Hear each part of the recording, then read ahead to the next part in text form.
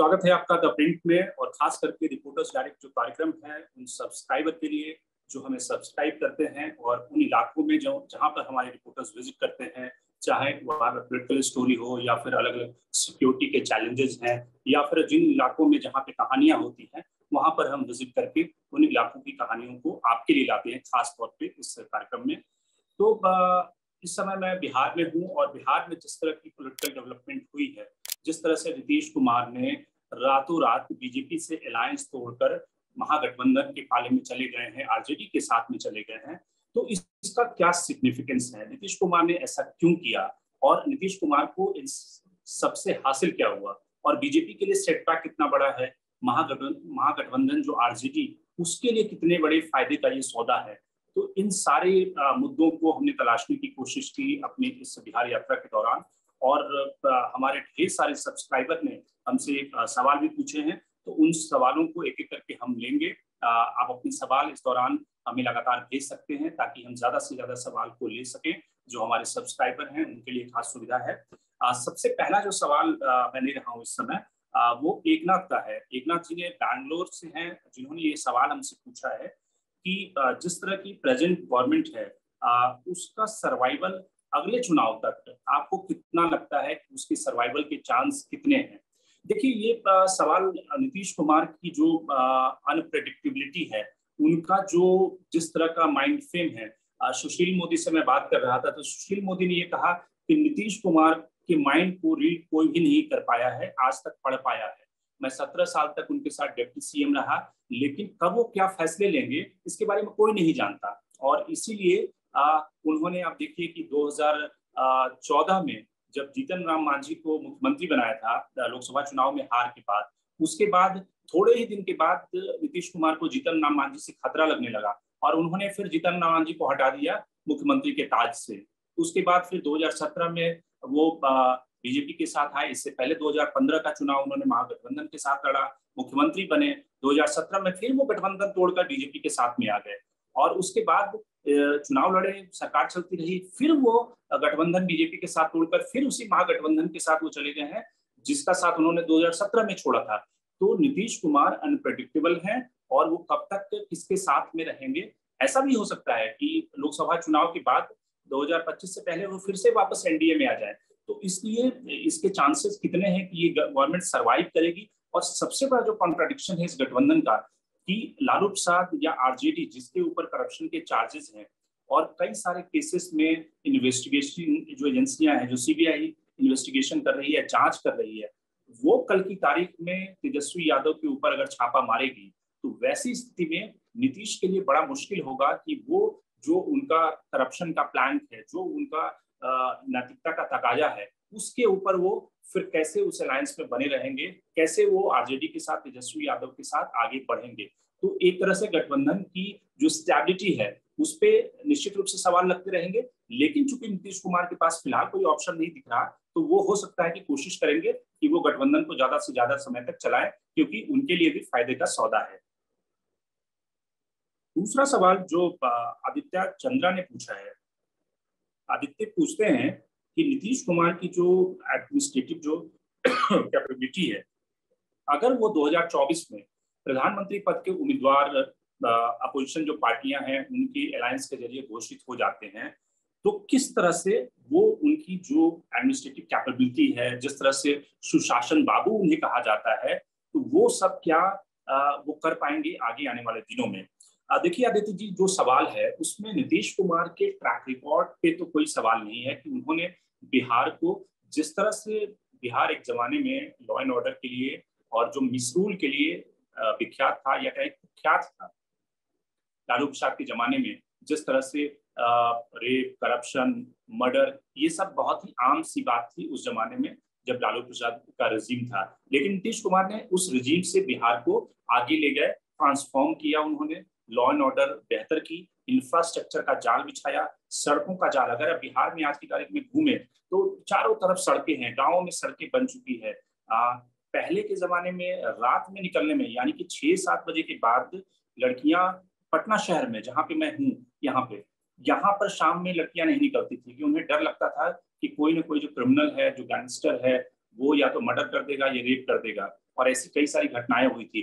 तो नीतीश कुमार है इन सबसे बिहार को निजात दिलाया। नीतीश कुमार का जो पहला टेनियर था, यानी कि 2005 से 2010 का जो समय था, वो बेस्ट परफॉर्मेंस का उनका रिजीम था। उसके बाद 2000 से 2010 से 2013 के बीच में भी उन्होंने बेहतर काम किया।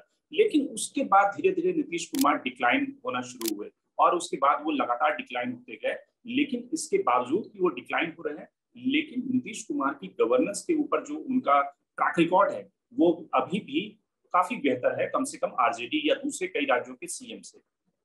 इसलिए अगर वो अपोजिशन उन्हें एक प्राइम मिनिस्ट्रियल कैंडिडेट के तौर पे चुनता है तो निश्चित रूप से वो टफ फाइट दे सकते हैं, क्योंकि आप देखें कि उनके मुकाबले कौन कौन से वैसे लीडर होंगे। ममता बनर्जी ममता बनर्जी निश्चित रूप से फाइटर हैं और वेस्ट बंगाल में ज़्यादा सीटें हैं। लेकिन वो हिंदी भाषी नहीं है। वो एक ऐसे स्टेट से आती है जहाँ पर बांग्ला बोली जाती है और कम से कम जो प्राइम मिनिस्टर कैंडिडेट एक्सेप्टेबल एक तरह से माना जाता है कि एक्सेप्टेबल होगा, उसका हिंदी बोलना बहुत ज़रूरी है। और नरेंद्र मोदी की सबसे बड़ी जो यूएसपी है कि वो हिंदी बोलते हैं, गुजरात से आते हैं, लेकिन हिंदी उनकी बहुत अच्छी है, ताकि वो ज़्यादा से ज़्यादा जनता तक कनेक्ट कर पाए। वाजपेयी को लोग इसलिए याद करते हैं कि उनके अंदर जो बाकुपटता थी, जो उनकी भाषण देने की शैली थी, वो बहुत ही अद्वितीय थी। तो इसलिए ज़्यादा लोगों तक कनेक्ट करने के लिए हिंदी जानना ज़रूरी है। आप ज़्यादा स्टेट में कनेक्ट कर पाए, इसके अलावा सेंट्रल इंडिया के पार्ट हो जो ज़्यादा से ज़्यादा आप नैरेटिव को कैरी कर सके। तो इसलिए केसीआर की अगर तुलना करें तो केसीआर उस राज्य के मुख्यमंत्री है जहाँ पे सत्रह सीटें हैं। तो सत्रह सीटों का व्यक्ति क्या प्रधानमंत्री बन सकता है? क्या वो अपोजिशन में एंट्री ला सकता है? क्योंकि तो नीतीश कुमार के पास ज़्यादा सीटें हैं। तो इसलिए नीतीश कुमार का जो क्लेम है, वो बाकी सीएम से ज़्यादा बेहतर बनता है, क्योंकि नॉर्थ इंडिया के उस इलाके से है। जहाँ पर रग रग में पॉलिटिक्स बोलता है और पॉलिटिक्स बसती है। तो इसलिए नीतीश कुमार का बेहतर क्लेम है। लेकिन इन सब के बावजूद ये इस इस समय कहना बहुत ही मुश्किल है, क्योंकि नरेंद्र मोदी जहाँ जिनके पास 300 से ज़्यादा सीटें हैं, उनको कोई चैलेंज कर पाने की स्थिति में होगा क्या? लेकिन अगर आप चार स्टेट को देखें, महाराष्ट्र जहाँ की अड़तालीस सीटें हैं, पश्चिम बंगाल और बिहार की अगर तीनों राज्यों को ही मिला दें तो डेढ़ सौ सीटों के आसपास लोकसभा की सीटें इन तीन राज्यों से आती है। अगर इन तीनों राज्यों में अपोजिशन अपनी यूनिटी को मेंटेन करे और आगे आ, किसी के नाम पर चाहे वो ममता बनर्जी हो नीतीश कुमार हो अरविंद केजरीवाल हो किसी के नाम पर सहमति बनाकर अगर नरेंद्र मोदी को सचमुच फाइट करना चाहता है तो नरेंद्र मोदी के लिए मुश्किल हो सकता है उनका जो मैंडेट है वो कम हो सकता है। ये सबसे बड़ा चैलेंज है मोदी के सामने। नारायण जी पूछते हैं ये भी बैंगलोर से हैं और इन्होंने पूछा है कि जो नेशनल पार्टी है क्या बीजेपी की सबसे बड़ी ये चिंता है कि जो रीजनल पार्टी है, क्या वो सेंटर में आ जाएँगी और सेंटर में उनका अगर आधिपत्य हो जाए तो ये कितना बड़ा वायबल ऑप्शन हो सकता है या बीजेपी के लिए चैलेंज हो सकता है? देखिए अगर आप हिंदुस्तान की पॉलिटिक्स को समझें और हिंदुस्तान की पॉलिटिक्स को जैसे रीड करते हैं तो हिंदुस्तान जो एक फेडरल कंट्री है और हिंदुस्तान अलग अलग राज्यों से मिलकर बना हुआ है और वैसी स्थिति में किसी राज्य का मुख्यमंत्री, किसी राज्य का लीडर किसी राज्य की पार्टी गवर्न कर सकती है सेंटर में। क्योंकि नेशनल पार्टियाँ जो होती हैं, बीजेपी या कांग्रेस, वो ज़्यादा सीटों पर लड़ती हैं, ज़्यादा सीटों पर उनका स्टेक होल्ड है, इसलिए उनके सत्ता में आने की संभावना ज़्यादा होती है। जो रीजनल पार्टियाँ हैं, वो कम सीटों पर लड़ती हैं तो इसलिए उनके सत्ता में आने की संभावना काफ़ी कम होती है। तो इसलिए फ़िलहाल तो ऐसा नहीं लगता कि कोई रीजनल पार्टी केंद्र की सत्ता तक पहुँच जाएगा, क्योंकि जिस तरह से प्रशांत किशोर कहते हैं चूँकि प्रशांत किशोर के बारे में एक चीज़ तो कही जाएगी कि वो बहुत ही आर्टिकुलेट हैं और सोचते काफ़ी अच्छा है। क्योंकि जो पार्टियाँ अगर अड़तालीस, उनचास परसेंट के वोट शेयर पर है जो बीजेपी अगर लोकसभा पोल की बात करें तो उसको वोट शेयर तीस परसेंट बत्तीस परसेंट आते आते काफ़ी समय लगेगा। तो इसलिए ये समझना कि बीजेपी को आप एकदम से रिप्लेस कर देंगे, एकदम से हटा देंगे, ये एक तरह से दिल में सपने देखने जैसा है। इसलिए आपको अगर बीजेपी को सत्ता से हटाना है तो उसके लिए सबसे पहले नैरेटिव चाहिए कि आप बीजेपी के नैरेटिव का मुकाबला कर सकें। दूसरा जो है लीडरशिप चाहिए, जो अपोजिशन गैंग के पास में अपोजिशन पार्टियों के पास में कोई यूनानिमस लीडरशिप नहीं है। हालाँकि वो लीडरशिप बाद में भी हो सकता है पोस्ट पोल भी हो सकता है, लेकिन एक कॉमन मिनिमम प्रोग्राम पे आपकी स्वीकार्यता सहमति होनी चाहिए। लेकिन सबसे पहले ज़रूरी है कि आप एक नैरेटिव क्रिएट करें, सब पार्टियाँ मिलकर, तभी आप मोदी को चैलेंज कर सकते हैं। एक और सवाल जो कि खुर्शीद साहब पूछते हैं कि जो बिहार का एजेंडा, या कम से कम जो नई गठबंधन बनी है, उसका एजेंडा क्या होना चाहिए? जॉब्स इकोनॉमिक क्राइसिस ये एक बड़ा एजेंडा होना चाहिए 2025 के चुनाव के लिए। निश्चित रूप से ये एजेंडा हर पार्टी के लिए होना चाहिए। और जिस तरह से तेजस्वी यादव ने कहा था कि अगर वो सत्ता में आएँगे तो पहले ही कैबिनेट बैठक में 10 लाख जॉब की क्रिएशन का ऑर्डर जो है, वो साइन करेंगे। अब उनके ऊपर निश्चित रूप से यह प्रेशर बनेगा क्योंकि जो पिछला विधानसभा चुनाव हुआ था 2020 का, उसमें युवाओं ने इकट्ठा होकर तेजस्वी यादव को सपोर्ट किया था और ढेर सारे जो बेरोजगार युवा हैं, उन्हें लगता है कि जॉब क्रिएशन के मामले में तेजस्वी यादव चूँकि यंग हैं और वो यंग जो यूथ्स हैं, उनकी एस्पिरेशन को ज़्यादा बेहतर ढंग से समझ सकते हैं। अब सवाल ये है कि जिस तरह की बिहार में सरकार बनी है और हालाँकि उस समय नीतीश कुमार ने उनका मज़ाक उड़ाया था और नीतीश कुमार ने कहा था कि 10 लाख जॉब क्रिएट करना ये काफ़ी इम्पॉसिबल जैसा काम है। लेकिन अब चूँकि तेजस्वी यादव सरकार में है डिप्टी चीफ मिनिस्टर है तो उनकी प्रायोरिटी ये होनी चाहिए। अगर उन्हें फ्यूचर की पॉलिटिक्स करनी है, उन्हें भविष्य की राजनीति अगर करनी है तो निश्चित रूप से उनकी प्रायोरिटी ये होना चाहिए कि अगले दो ढाई सालों में वो युवाओं के इशू पर काम करें जॉब क्रिएशन जो इस देश में जो बेरोजगारी है, वो सबसे बड़ा इशू है इस देश के आज की तारीख में। और दूसरे ऐसे ट्रेवियल इशू हर समय आते रहते हैं और जो रोज़गार का मुद्दा है, वो कहीं दब जाता है।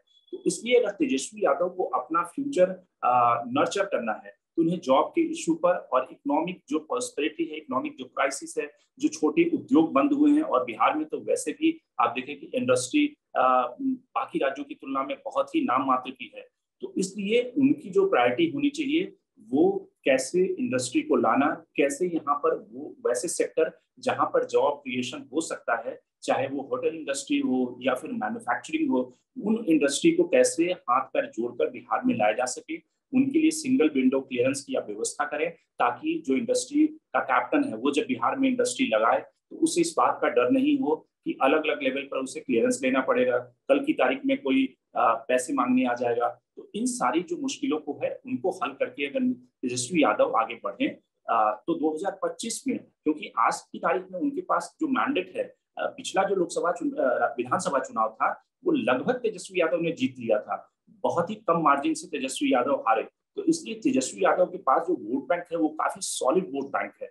और अगर आप यूथ को जोड़ लें तो तेजस्वी यादव निश्चित रूप से एक तरह से आरजेडी के फ्यूचर हो सकते हैं। तो इसलिए जो विजन होना चाहिए, वो जॉब क्रिएशन होना चाहिए इकोनॉमिक डेवलपमेंट होना चाहिए। एक और सवाल जो सुनील कुमार पूछते हैं कि जो हाईवे प्रोजेक्ट्स हैं, जो फ़ूड इंडस्ट्री है बिहार में उसमें क्या नई सरकार आने के बाद क्या उसमें शिथिलता तो नहीं आ जाएगी? वो सारे काम रुक तो नहीं जाएँगे। देखिए ज़्यादातर जो एनएचआई के प्रोडक्ट हैं जो प्रोजेक्ट हैं, वो खास करके नितिन गडकरी के अंदर आता है और नितिन गडकरी एन के जो मिनिस्टर हैं सरफेस ट्रांसपोर्ट मिनिस्टर तो वो उस पर काम देखते हैं। और इसलिए कोई भी सरकार ये नहीं चाहेगी कि जो इंफ्रास्ट्रक्चर के प्रोजेक्ट्स हैं, उसमें कोई धीमी गति आए या फिर वो रुक जाए। हर सरकार ये चाहती है कि इंफ्रास्ट्रक्चर के प्रोजेक्ट पे वो काम करे, क्योंकि इंफ्रास्ट्रक्चर के प्रोजेक्ट्स ही हैं जो इकोनॉमिक रिवाइवल या फिर जॉब क्रिएशन करते हैं। जहाँ तक फ़ूड इंडस्ट्री की बात है तो देखिए बिहार में फ़ूड इंडस्ट्री या फिर इंडस्ट्री जो है, वो काफ़ी बड़ा पोर्टफोलियो नहीं रहा है। और जब से शहनवाज हुसैन को यहाँ पे मिनिस्टर बनाया गया था, शहनवाज हुसैन ने काफ़ी कोशिश की कि यहाँ पर इंडस्ट्री का रिवाइवल हो। वो कई जगहों पर, कई शहरों में घूमे कि अलग अलग उन्होंने सबमिट कराए। कि किस तरह से बिहार में इंडस्ट्री आनी चाहिए। अब जो भी नया इंडस्ट्री मिनिस्टर हो, बनेगा, उसकी ये प्रायोरिटी होनी चाहिए कि बिहार में वो सारी सुविधाएँ वो इंडस्ट्री कैप्टन को प्रोवाइड करे, जिसके कारण से वो बिहार आने से हिचकते हैं। उन्हें लगता है कि एयरपोर्ट के आसपास के शहरों में ज़मीन मिल जाए तो जिस तरह से नए एयरपोर्ट बन रहे हैं, उन शहरों में उन्हें ज़मीन दी जाए, उन्हें सिंगल विंडो क्लियरेंस दिया जाए, उनके लिए और सहूलियतें दी जाए। एक तरह से कंड्यूसिव इन्वायरमेंट उनके लिए बनाना ज़रूरी है ताकि वो बिहार में आकर इन्वेस्ट करें और जिस तरह से फ़ूड इंडस्ट्री में इन्वेस्टमेंट हुआ है तो उस इन्वेस्टमेंट को और आगे बढ़ाने की ज़रूरत है। पीवी राव साहब पूछते हैं कि जो एमजीबी है, यानी कि जो महागठबंधन है, उसकी, उसका जो अपोजिशन है, यानी कि उसके अपोजिशन में आज की तारीख में बीजेपी आ गई है तो वो कितना क्रेडिबल है या कितना खतरा है एमजीबी के लिए? और एमजीबी की क्या ऐसे पॉइंट्स है जिसके कारण वो आगे अपने को 2024 और 2025 के चुनाव में कैरी फॉरवर्ड कर सकती है। देखिए, अगर कास्ट पोलिशन की बात करें कास्ट एलायंसेस की बात करें तो एमजीपी के पास, महागठबंधन के पास, यानी कि लालू प्रसाद, तेजस्वी यादव की पार्टी और जेडीयू की पार्टी, बहुत ही सॉलिड कास्ट इक्वेशन पे खड़ी है।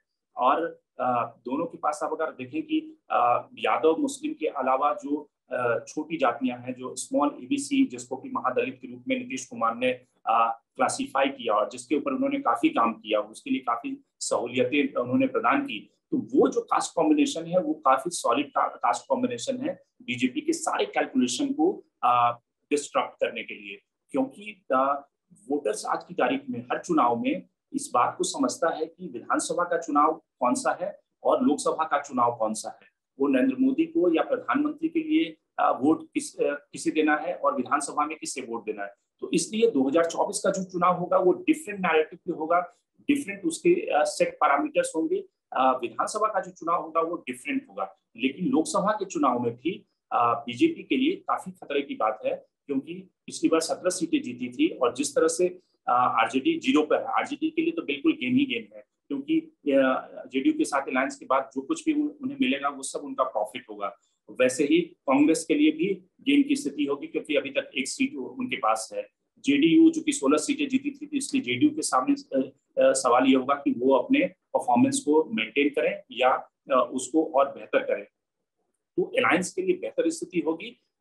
सवाल ये है कि नरेंद्र मोदी क्या अपने जो ब्रांड मोदी है और जो ब्रांड नैरेटिव वो क्रिएट करते हैं, उसके ज़रिए क्या वो लोकसभा इलेक्शन को स्वीप कर लेंगे? और बीजेपी की दिक्कत, असली जो दिक्कत शुरू होगी असेंबली इलेक्शन में, या फिर लोकसभा में भी महागठबंधन उन्हें बड़ी चुनौती देगा और लोकसभा में भी उनकी जो संख्या है वो कम हो जाएगी।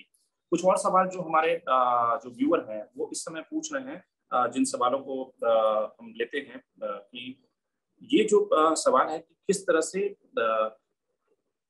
नीतीश कुमार का जो नेशनल एम्बिशन है, वो कितना नेशनल एम्बिशन जो है उसमें कितना दम है?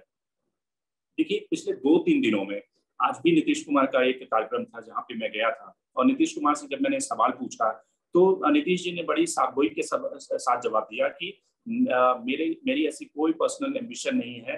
मैं कतई प्रधानमंत्री नहीं बनना चाहता। मैं ये सब सोचता भी नहीं हूँ। मैं बिहार की सेवा कर रहा हूँ। लेकिन उनकी पार्टी के जो नेता हैं वो लगातार इस तरह के बयान दे रहे हैं कि Nitish Kumar prime ministerial material है। उनमें वो सारे गुण हैं कि जो प्रधानमंत्री में होनी चाहिए। और ये भी बात तो कहीं ना कहीं लोगों में है और जो पॉलिटिकल कॉरिडोर है, उसमें ये छन कर आ रही है कि क्या तेजस्वी यादव और नीतीश कुमार में कोई ऐसी डील तो नहीं हुई है कि 2024 तक तो मुख्यमंत्री नीतीश कुमार रहेंगे और उसके बाद वो मुख्यमंत्री का ताज है, तेजस्वी यादव के लिए छोड़ देंगे ताकि एक साल का समय उन्हें मिल सके। और जो नीतीश कुमार है, वो केंद्र की राजनीति में शिफ्ट हो जाएँगे। अब सवाल है कि केंद्र की राजनीति में उनके पास ऑप्शन क्या है? वही वाइस प्रेसिडेंट प्रेसिडेंट तो बन नहीं रहे। केंद्र की राजनीति में ऑप्शन ये है कि वो राज्यसभा में चले जाएँ। तो राज्यसभा में जाना नीतीश कुमार के लिए मुश्किल नहीं है।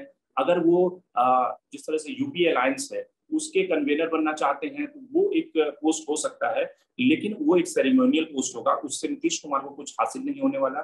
दूसरा कि क्या वो नरेंद्र मोदी को चैलेंजर के रूप में फाइट कर सकते हैं। लेकिन नीतीश कुमार देखिए काफ़ी प्रैग्मेटिक पॉलिटिशियन है। वो वास्तविकता को समझते हैं। वो जानते हैं कि ग्राउंड कहाँ पर है और उसके नीचे कितना गड्ढा है। तो वैसी स्थिति में नीतीश कुमार को ये पता है कि बीजेपी जहाँ पर प्रचंड बहुमत के साथ आज की तारीख में है, जहाँ पे उसके पास 300 से प्लस सीटें हैं, वैसी स्थिति में अगर महागठबंधन और इन सब के सहारे वो यूपीए अलायंस और अपोजिशन खेमे के प्रधानमंत्री पद के उम्मीदवार, दावेदार कुछ भी बन जाए, तब भी क्या नरेंद्र मोदी को चैलेंज कर पाना इतना आसान होगा? ये सवाल उनके जहन में हमेशा रहेगा।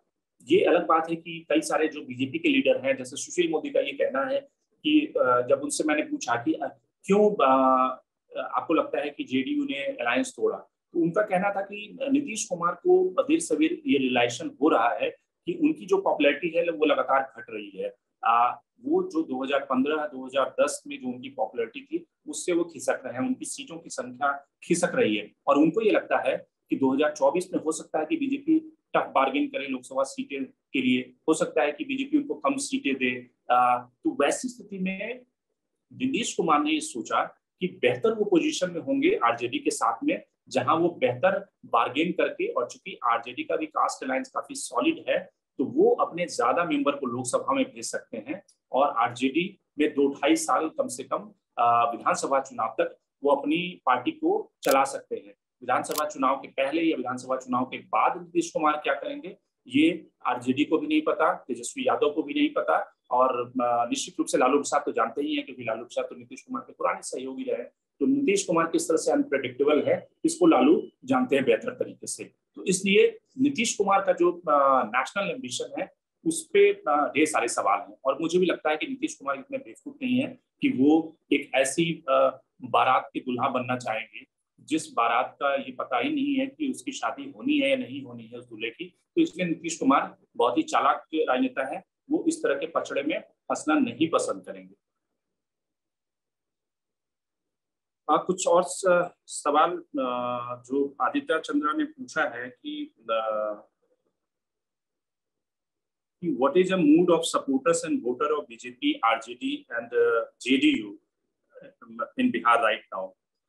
देखिए जो वोटर्स का मूड है तो आप देखें कि अगर आरजेडी कार्यालय पे आप जाएँ तो आरजेडी कार्यालय पे मैं गया तो वहाँ पे देखा कि गाड़ियों की लंबी लाइन लगनी शुरू हो गई है कार्यकर्ताओं का रेला शुरू हो गया है जो आरजेडी कार्यालय बिल्कुल पहले सुना रहता था और जिस तरह से उस दिन जिस दिन शपथ था तो उस दिन कई सारे लोग लोग जो शपथ ग्रहण में गए थे, वो लोग बता रहे थे कि आरजेडी का जो कैडर है वो काफ़ी कमिटेड वोटर उनका है, उनका कैडर है। और बीजेपी का जब शपथ ग्रहण 2017 में नीतीश कुमार ने जब बीजेपी के साथ, हाथ मिलाया था तो उस समय राजभवन को भरना मुश्किल हो गया था। और आज की तारीख में आरजेडी के इतने कार्यकर्ता थे, इतने लोग थे कि राजभवन में तिल रखने की जगह नहीं थी। तो निश्चित रूप से आरजेडी का जो मॉरल है वो काफ़ी बूस्ट है। आरजेडी को इस लाइफ लाइन की ज़रूरत थी। जिस तरह से सेंट्रल एजेंसियाँ उनके खिलाफ काम कर रही हैं जिस तरह से उनके पास में पावर आया तो निश्चित रूप से आरजेडी के लिए सब कुछ प्लस है। बीजेपी का जो कैडर है बीजेपी का जो मोरल है, वो इस समय डाउन है, क्योंकि बीजेपी को ये भी सोचना होगा आने वाले दिनों में कि जो 16 परसेंट का ईवीसी वोट बैंक जो नीतीश कुमार की बदौलत उन्हें मिल जाता था, वो कैसे बीजेपी उसकी भरपाई करेगी? ये अलग बात है कि बीजेपी एक बड़ी पार्टी है नेशनल पार्टी है, उनके पास बैटरी ऑफ़ लीडर्स हैं, कार्यकर्ता हैं तो वो आने वाले दिनों में अपनी स्ट्रैटी तय कर लेंगे। लेकिन निश्चित रूप से आज की तारीख में मोरल डाउन है और आरजेडी के जो कार्यकर्ता हैं, उनका मोरल काफ़ी ज़्यादा उठा हुआ है, ऊँचा है। आदित्य, चंद्रा ही पूछते हैं कि लोकसभा इलेक्शन में चूँकि हिंदी हार्टलैंड है, और वहाँ पर नीतीश कुमार एक सेकुलर लीडर हैं तो किस तरह से नीतीश कुमार अपने को प्रोजेक्ट कर सकते हैं एक as a prime minister candidate और उनका एक और सवाल जुड़ा हुआ है कि बीजेपी अभी तक जो स्टेट लीडरशिप है, जो छत्रप है, उस तरह के छत्रप खड़ा नहीं कर पाई है बिहार में। तो ये इसलिए हुआ क्योंकि नीतीश कुमार की जो ब्रांड इमेज है वो काफ़ी ज़्यादा थी। ब्रांड इमेज उनकी जो है वो बीजेपी के ढेर सारे नेताओं से ज़्यादा बड़ी है। देखिए, बिहार की जो क्राइसिस है अगर देवेंद्र फडणवीस से तुलना करें तो देवेंद्र फडणवीस निश्चित रूप से चूँकि बीजेपी और महाराष्ट्र की जो बीजेपी है, वहाँ पे जो उनके प्रोमिनेंट लीडर रहे हैं प्रमोद महाजन, गोपीनाथ मुंडे, इन सबने बीजेपी की जड़ें वहाँ पे जमाई। और किस तरह से बाला साहब ठाकरे की पार्टी के साथ बीजेपी ने अपने अलायंस को जो एक समय में सेकेंड पार्टनर जूनियर पार्टनर हुआ करती थी बीजेपी ने 2014 के बाद सीनियर पार्टनर के रूप में अपने को वहाँ पे इवॉल्व किया। बिहार में एक तरह से देखें कि बीजेपी के पास लीडरशिप की क्राइसिस रही है। और एक जमाने में आप देखिए कैलाश पति मिश्रा, कैलाशन मिश्रा हुआ करते थे। उसके बाद आप देखिए कि सुशील मोदी लंबे समय तक उन्होंने बिहार बीजेपी को लीड किया। और सुशील मोदी एक वैसे नेता बिहार बीजेपी में है जो कि इमरजेंसी की पैदाइश है, जो लालू, नीतीश इन सबके साथ जेल में रहे और जिस तरह से इमरजेंसी से निकलते हुए उन्होंने बिहार बीजेपी को और चूँकि वो एडमिनिस्ट्रेशन को जानते हैं, वो निटिग्रिटी सारी चीज़ें समझते हैं तो लंबे समय तक उन्होंने बीजेपी को लीड किया। चूँकि अमित शाह जब हेल्म ऑफ़ अफेयर्स पे बीजेपी में आए और अमित शाह को ये लगने लगा कि नीतीश कुमार की असली लाइफलाइन तो सुशील मोदी है और चूँकि अब बीजेपी अपने को हर राज्य में एक्सपैंड करना चाहती है, जो अलायंस पार्टनर है, उन्हें किनारे करके बीजेपी अपने फुटप्रिंट का विस्तार करना चाहती है। तो वैसी स्थिति में नीतीश के बैसाखी पर बीजेपी टिकी रहे, ये बीजेपी को आज की तारीख में मंजूर नहीं है। और बीजेपी का कैडर 2020 के चुनाव में भी ये कह रहा था कि आप अकेले बीजेपी अगर चुनाव वहाँ पे लड़ ले बिहार में तो ज़्यादा फ़ायदे में रहेगी। लेकिन जो बीजेपी के टॉप लीडरशिप थी, उनको ये डर लग रहा था कि नीतीश कुमार के पास जो सुशासन बाबू की इमेज है, उनके पास में सोलह परसेंट ईवीसी और कुर्मी का वोट है वो अगर बीजेपी को ट्रांसफ़र होगा तो बीजेपी ज़्यादा बेहतर स्थिति में रहेगी। तो इसके कारण से बीजेपी ने नीतीश के साथ अलायंस बनाए रखा। लेकिन ग्राउंड का जो कैडर है, वो चाहता है कि बीजेपी अलायंस से अलग होकर अकेले दम पर चुनाव लड़े बिहार में, और ये अपॉर्चुनिटी बीजेपी को मिल गई है। तो एक तरह से अगर कहें कि बीजेपी के लिए सेटबैक है तो दूसरी तरफ़ से एडवांटेज भी है कि बीजेपी को आने वाले दिनों में अपनी फुटप्रिंट को बढ़ाने का मौका मिलेगा, अपनी जो स्कीम ऑफ़ थिंग्स है, उसको वो इम्प्लीमेंट करे, अपनी लीडरशिप को कल्टिवेट करे। लेकिन ये बात सच है कि बिहार में उस तरह से लीडरशिप इवॉल्व होकर नहीं आई जितने भी बाकी लीडर हैं बिहार में वो उस कद के नहीं है जिस कद के नीतीश कुमार है या फिर एक जमाने में लालू प्रसाद यादव हुआ करते थे। बाकी जो लीडर हैं वो बहुत ही पॉकेट्स के ज़िले के अपने अपने इलाकों के नेता हैं। चाहे वो नित्यानंद राय हो चाहे संजय जायसवाल हो या फिर कोई और हो आ, सब अपने अपने पॉकेट्स के नेता हैं सर्वमान्य नेता नहीं है जिनको पूरे बिहार की जानकारी हो चप्पे चप्पे की जानकारी हो और जो कार्यकर्ताओं के मन को समझता है। तो इसलिए बीजेपी का जो चैलेंज है बिहार में वो बड़ा है कि यहाँ पर एक एक्सेप्टेबल लीडरशिप उन्हें बढ़ाना पड़ेगा। क्योंकि जो उन्होंने एक्सपेरिमेंट किया था तारकिशोर और रेणु देवी के रूप में, वो बहुत बड़ा फ्लॉप साबित हुआ है। क्योंकि व्यक्ति दोनों बहुत अच्छे हैं, लेकिन एज ए लीडर क्योंकि प्रमोद महाजन एक बात कहा करते थे मुझे जब उमा भारती को निकाला गया था बीजेपी से तो प्रमोद महाजन से मैंने पूछा कि उमा भारती को आप लोगों ने निकाल दिया तो प्रमोद महाजन ने कहा कि बहुत ही दुख की बात है क्योंकि एक मास लीडर को बनाने में किसी पार्टी को तीस से चालीस साल का समय लगता है, क्योंकि मास लीडर रातों रात तो पैदा नहीं हो जाता। उसको पार्टी पार्टी उसमें इन्वेस्ट करती है, वो संघर्ष करता है स्ट्रीट फाइट करता है लीडर का पोजिशन बनता है और इस तरह से तीस चालीस साल उसमें पार्टी इन्वेस्ट करती है। और कल की तारीख में अगर किसी मास लीडर को पार्टी से निकाल दें तो आपका तो इन्वेस्टमेंट ज़ीरो हो गया ना तो उसी तरह से उमा भारती के निकाले जाने पर प्रमुख महाजन की टिप्पणी थी। तो उसी तरह से हर एक राज्य में बीजेपी की एक लीडरशिप है। लेकिन बिहार में उस तरह से एक्सेप्टेबल और सम्मान्य ग्रासरूट लेवल की कोई लीडरशिप डेवलप नहीं हुई। ये एक ट्रेजिडी है बिहार बीजेपी की आ, आ, पिछले दिनों में। तो कुल मिलाकर ये सारे सवाल जो आ, आप व्यूअर ने हमसे जानने की कोशिश की है और हमसे पूछा है जिस तरह से ये रिपोर्टर्स डायरेक्टर कार्यक्रम है, जिसमें कि हम अलग अलग इस हिस्सों में जाकर वहाँ की जो सिचुएशन है, वहाँ की जो स्टोरी है, उसको खोजने की कोशिश करते हैं।